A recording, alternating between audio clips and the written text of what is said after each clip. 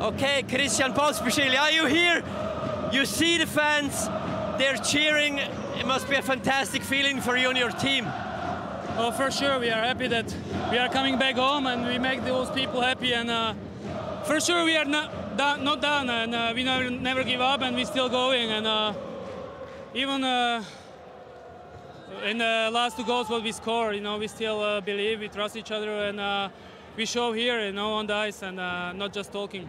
You had to wait many days, many games to be back on the ice. How was it for you when you when you came in in the lineup?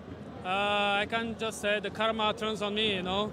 So I was ready every day. Uh, uh, every morning when I came to the ring, I was ready to step up on the ice and show what is in me, you know. So I'm happy it ended up like this, and I hope the team to win and uh, still keep going. What is the special thing in this group, in this Davos team? We just stick together.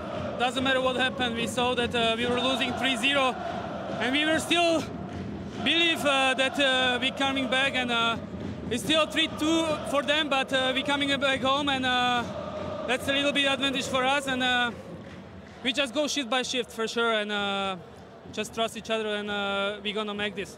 Thank you very much. Thank you. Thank